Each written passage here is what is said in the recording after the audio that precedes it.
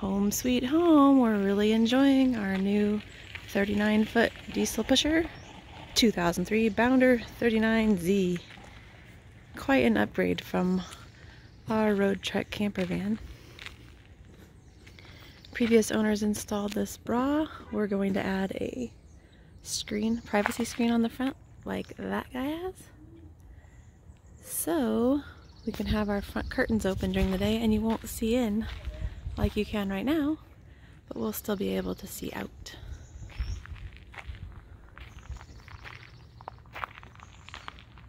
It's got a huge awning, covers our entire porch, which is pretty awesome. Tons and tons of storage we would never fill up. There's even storage at the front.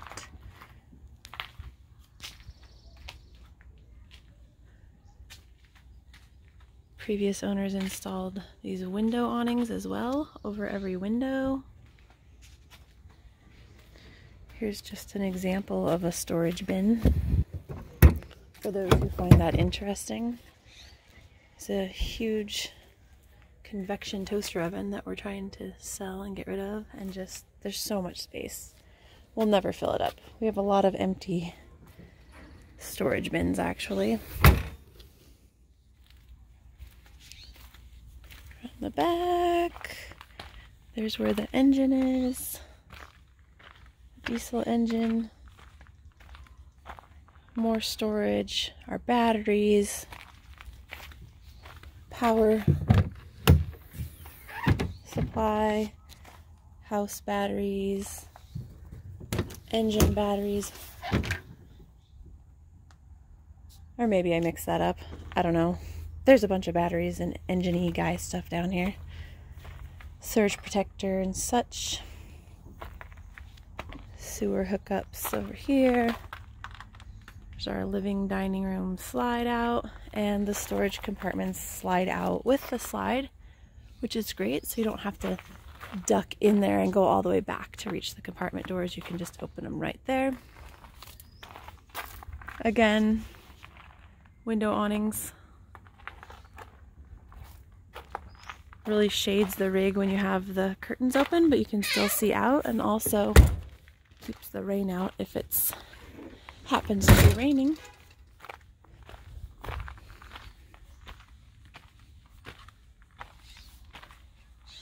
Not sure what else to really say about the outside.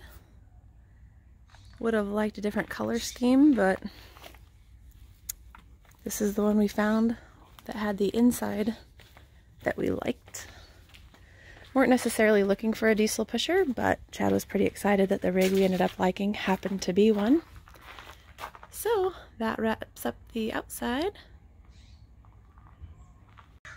Actually, here's a few more examples of the storage.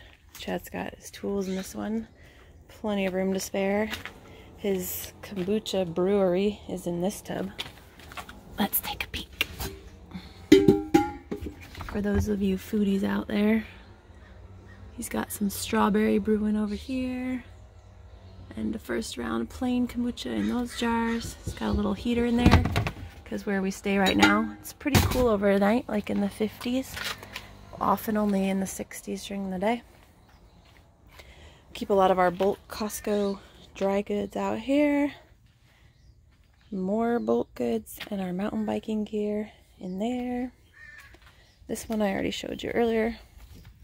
This one's actually not storage. It's our onboard propane access is right here. So this door can't be locked legally, I guess.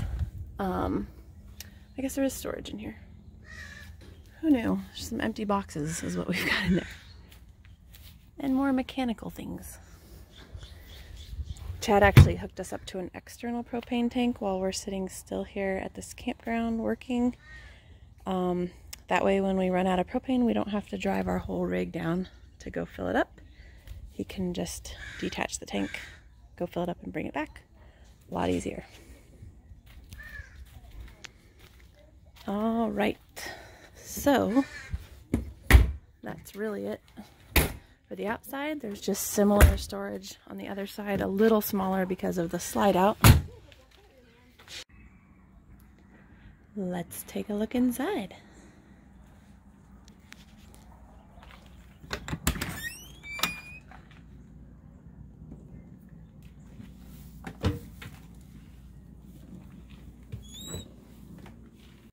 I've got this on a wide angle setting so that um, you can actually see everything in the shot. So it's going to make it look a little wider and roomier than it really is. But this is a couch we just got online at Home Depot. Kind of a cheapy couch. Not sure it will last long, but the old couch was 100% this pattern. Wow. Plus it was a little tore up from pets that they had had. So this is the living area. Give you a little 360.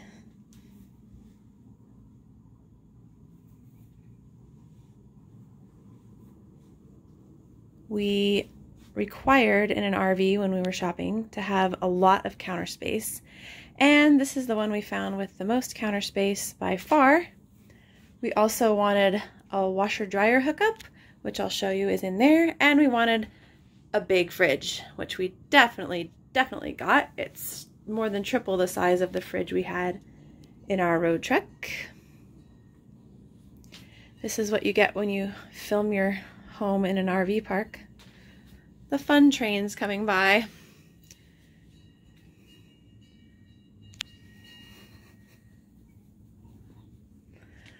All right, anyways, okay, so this is a 50 inch, I think, TV that we installed after the fact.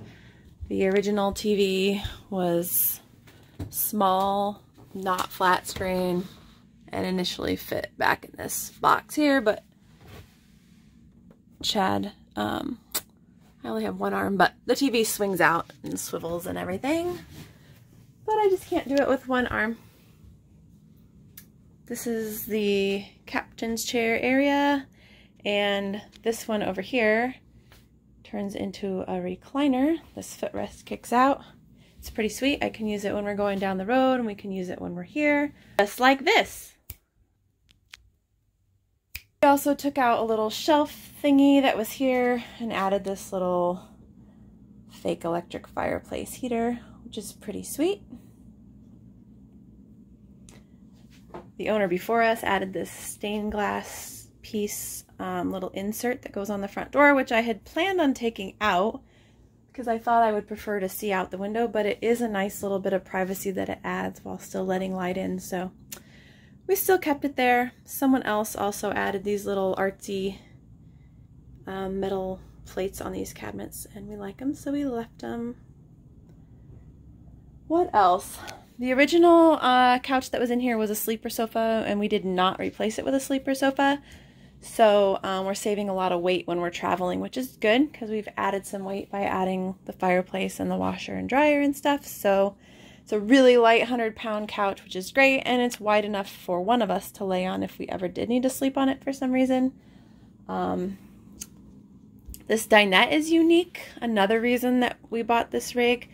You've got the table space, but then also this great counter space back here, which is called a computer workstation.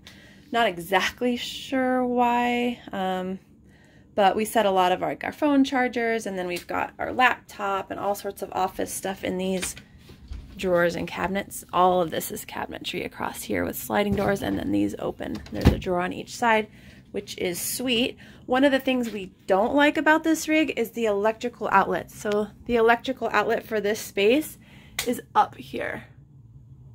So we were using that and cords have been hanging down for the past two months since we bought our rig and it's been driving me nuts.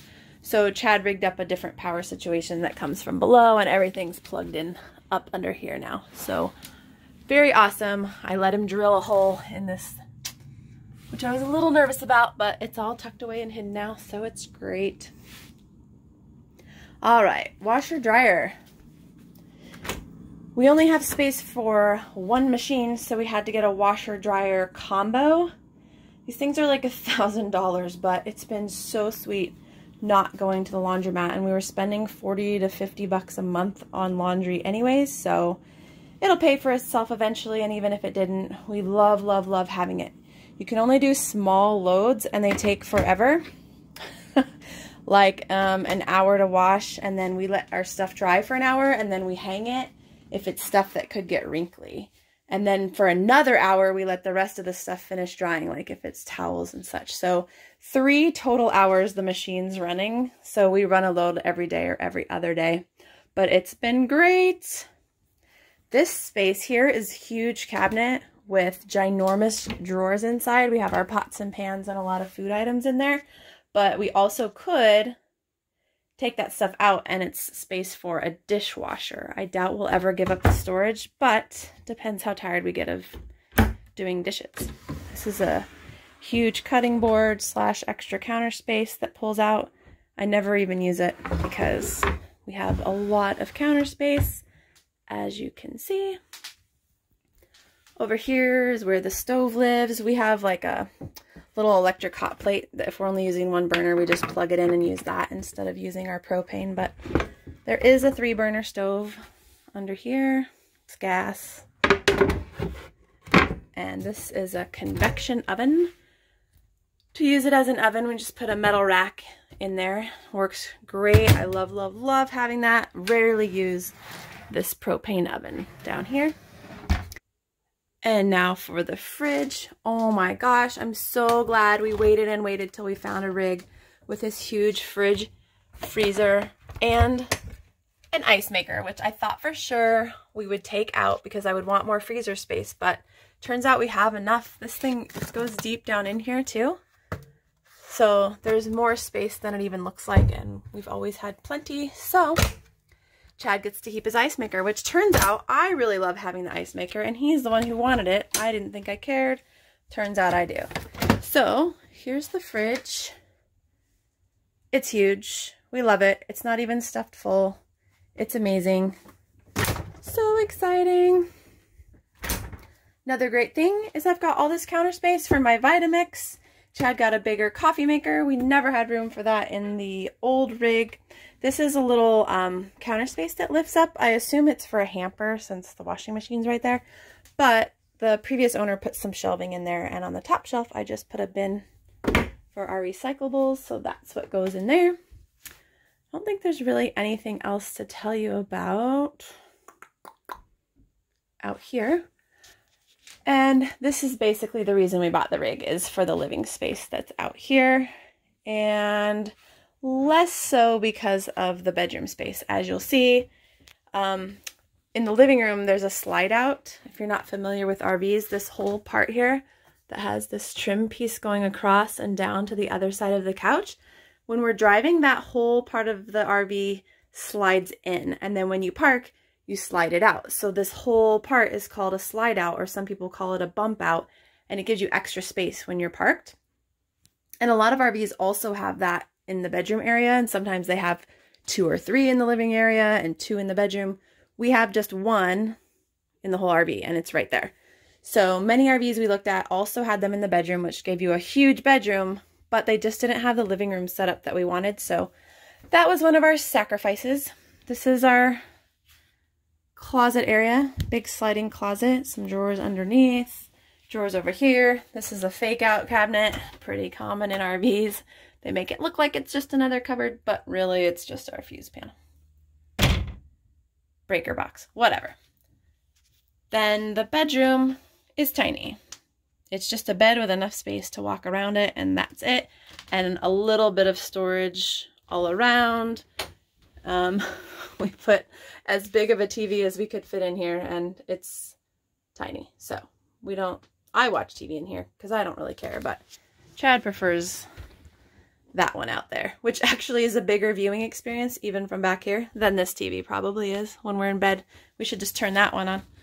All right, and then the bed, that's where the engine is. It's a diesel pusher, this oh. RV, and so down in there is the engine. And on top we could store stuff, but we haven't put anything in there yet.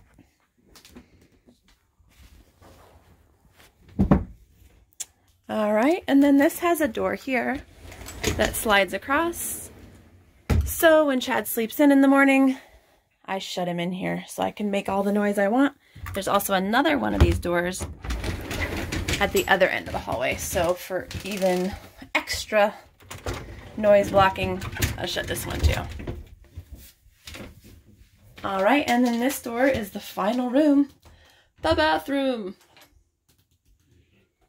Not much to it, a sink, a toilet, and a shower. Lots of storage in here though. It's a pretty good sized bathroom for an RV. It's a corner shower, garden tub setup, as they call it. So it's roomier than just a little square shower. It's not the biggest RV shower ever, but it's good enough. Has a skylight in it. A little bit more storage over here in this teensy little narrow cabinet. It's about the width of a washcloth. And hey, that's about it for the inside. Um, we're really, really loving it. It's a huge upgrade from our van. We bought our van because we wanted to adventure around and travel and go to different places every day or two. And now that we're work camping and sitting still for longer periods of time, it just didn't make any sense anymore to be crammed in that tiny little RV.